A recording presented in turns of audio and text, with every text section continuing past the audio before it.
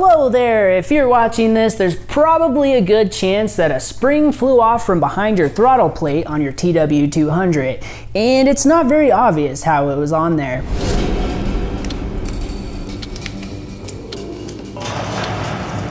But don't worry, I'm gonna show you how to put it back together. Before we get started, I just gotta say it's always a good idea to wear safety glasses when working on your bike. After removing the 13mm nut and throttle pulley, there should be a spring and a small plastic bushing. It falls off pretty easy, so you may have to look around for it. I'll go ahead and stuff the throttle pulley over onto the engine just to get it out of the way for now.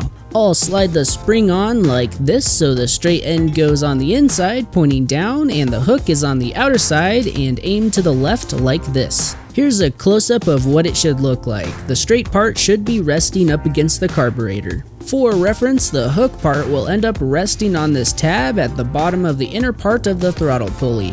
Next, place the plastic bushing on the spring so the beveled end is facing inwards like this. It probably doesn't really matter, but the flat part of the bushing should line up with the hook. Next, press the bushing in as far as it'll go. While holding it in, I'll grab a small right angle pick to grab the hook and wind the spring clockwise until I reach that little screw. While holding it in place, I'll rotate the throttle shaft all the way counterclockwise until it stops. You can use your fingers for this and I'm just using pliers so you can see what's going on. Next, insert the throttle pulley and carefully remove the pick so the hook rests on that tab that I showed earlier. It's pretty hard to see when it's installed and it may take a few tries to get it right. If the throttle pulley is slid on all the way and the hook is still resting on the tab, I'll go ahead and apply some blue Loctite to the threads because it would suck for this to fall off on the trail. Next I'll thread the nut on and snug it up.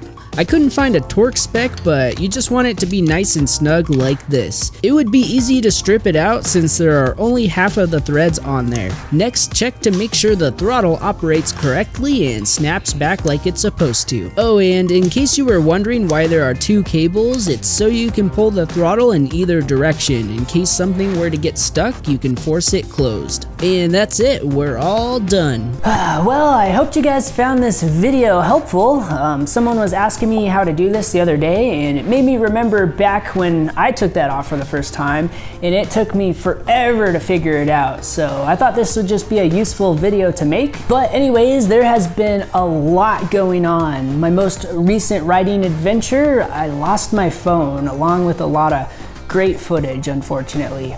But I'm also in the middle of editing a separate adventure video and it's taking a bit longer than expected, but I think it's gonna turn out really well. And also welding my frame back together that turned out good and I still gotta edit the video for that. And also I have been working on a fun skill over the past few months that I think is gonna blend really well with the type of videos I make. I still have a long ways to go on it, but I will show you guys what I'm talking about at the end of this video. But anyways, thanks for watching and I will catch you later. Peace.